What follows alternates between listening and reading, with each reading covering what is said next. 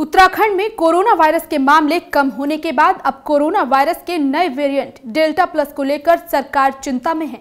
ऐसे में राज्य का स्वास्थ्य विभाग भी अलर्ट मोड में नज़र आ रहा है और सरकार भी जल्दबाजी में पूर्ण अनलॉक पर फैसला लेने के मूड में नज़र नहीं आ रही है। हालाँकि नए नियमों में लोगों को कुछ छूट मिलने की बात कही जा रही है, लेकिन कर्फ्यू को बढ़ाए जाने के भी हलचल तेज हो गई है और कर्फ्यू को लेकर कई कयास भी लगाए जा रहे हैं।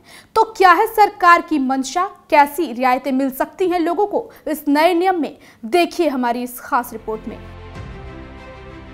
उत्तराखंड में 29 जून तक कोरोना कर्फ्यू लागू है। वहीं अब कयास लगाए जा रहे हैं कि कोरोना कर्फ्यू को 6 जुलाई तक बढ़ाया जा सकता है। दरअसल, उत्तराखंड में कोरोना वायरस सुरक्षा के लिए वीकेंड कर्फ्यू लगाया गया है और सरकार अब इसी फॉर्मूले के साथ आगे बढ़ने का प्लान बना रही है।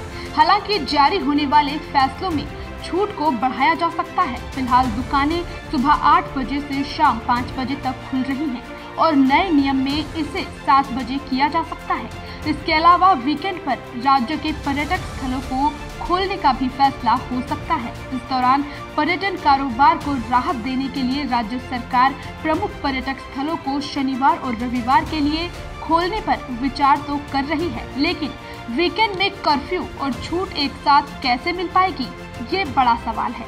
दूसरी ओर कोरोना के नए डेल्टा के खतरे को देखते हुए सरकार बाहरी राज्यों के लोगों के राज्यों में प्रवेश को लेकर पहले जैसी सख्ती जारी रखेगी। इसके लिए कोरोना नेगेटिव रिपोर्ट ज़रूरी है। वहीं शाम सात बजे से सुबह छह बजे तक कोरोना कर्फ्यू रह सकता है।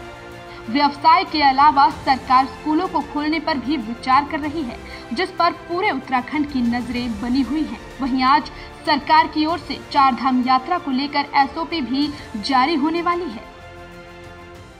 हर खबर में होगी हमारी नज़र। खबरों से जुड़ने के लिए हमारे चैनल को सब्सक्राइब करें और बेल आइकन दबाना ना भूलें।